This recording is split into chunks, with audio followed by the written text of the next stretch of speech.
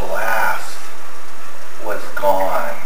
It, it disappeared and it was replaced with quarter inch plexiglass. Here's a sample of it right here. It's not the smartest thing because this little quarter inch piece of plexi is all that really kept you as a visitor from certain octopus or shark death or tidal wave drowning. Um, but the worst part of it is, is that um, it scratches and it discolors, and you really can't see into the tank at all. The plexiglass bows when it's filled. The water pressure is such that it actually bows out and it creates leaks.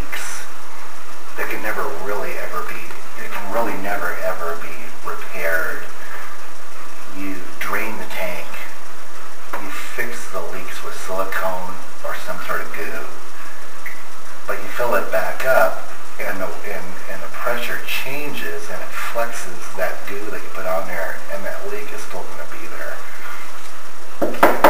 So we're replacing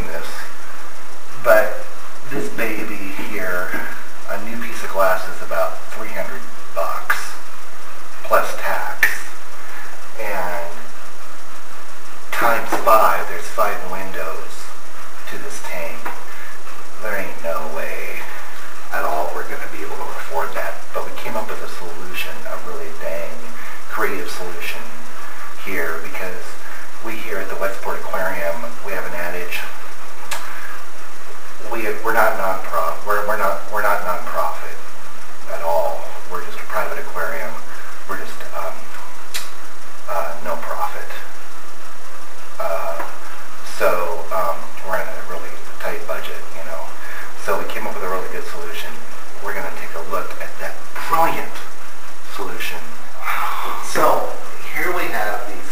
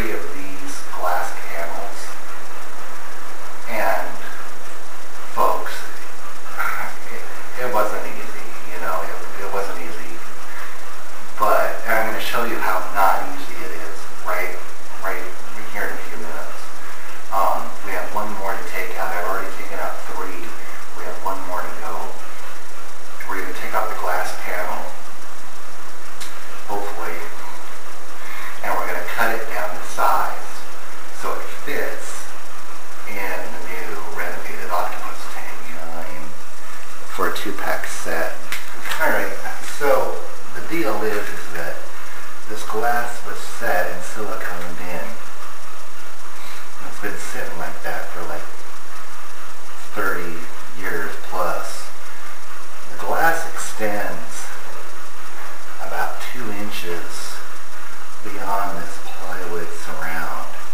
And there's a good quarter inch worth of silicone in there that we have to break the release without breaking the glass in there. So the first thing that I'm going to be doing is uh, just taking a scraper and just uh, getting rid of some paint, kind of like uh, leaking the glass up to let, to let it know that I'm going to be uh, saying good morning to it, you know.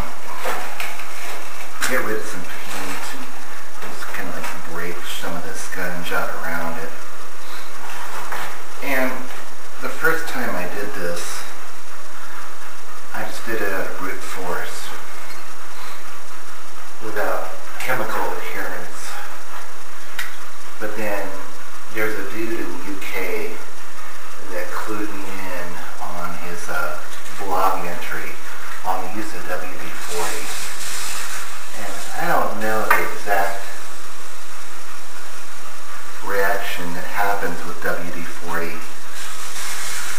and, and old silicone. But it does seem to release the silicone from and the wood somewhat. But the main thing I think that really helps is that it acts as a lubricant for sliding stuff in and breaking the silicone. So what I'm going to be doing is some Slim Jim tricks here.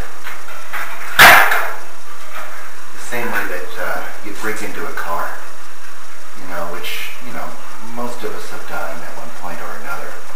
Um, we need to find something pretty skinny, like this fellow. It could be, it could be thinner this way, but last time I did it, I broke it off. And so anyway, this is the last one I have. Hopefully it'll work. The other uh, really important tool that I use are, are, are, these, are these gloves. Because on the first one I did, I was able to release the glass from the plywood without breaking the glass. And I was also able to uh, bore a pretty significant clean one inch hole into my hand. Um, this was about, I don't know, it could be two days ago and it's healed well since then. But since then I've uh, decided to uh, use gloves. Probably my mom would think it was most prudent and I should have thought of that in the first place, but I didn't. So this whole process is probably going to be edited into like a 30 to maybe 60 second montage with a lot of profanity edited out um, because it does take a fair amount of profanity. But what I'm doing is I'm sliding gingerly at first, sliding this skinny guy up between the plywood and the glass to uh, try to get through it. Um, on the first go around, I'm using the skinniest tool I can find, the thinnest gauge of uh, sheet metal I can use. Later on, I'm going to be using I'm going to be using a, uh, a thicker fellow. This guy is uh, used mainly for uh, scraping nasty stuff off of walls or whatnot. It's pretty thick. If I were to use it right now,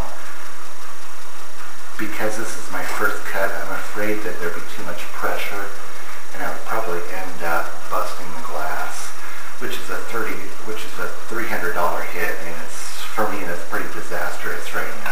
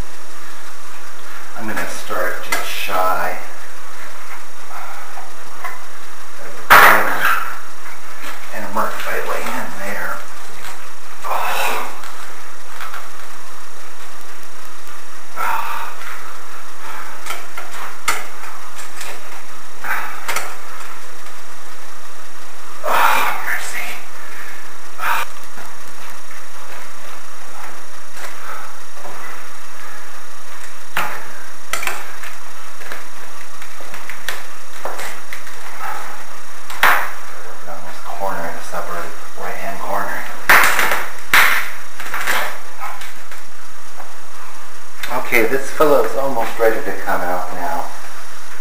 Almost. I'm about 300 pounds of loving, lovely joy here. So sometimes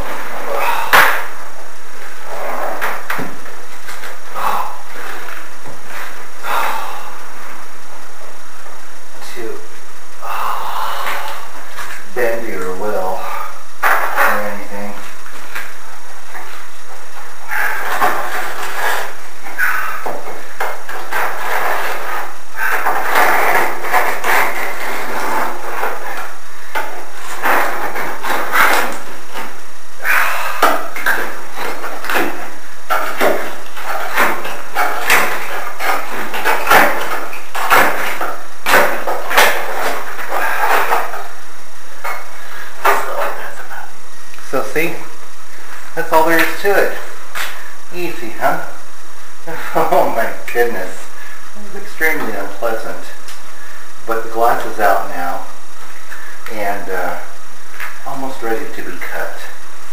We have to clean it up a bit. Okay. Well, that was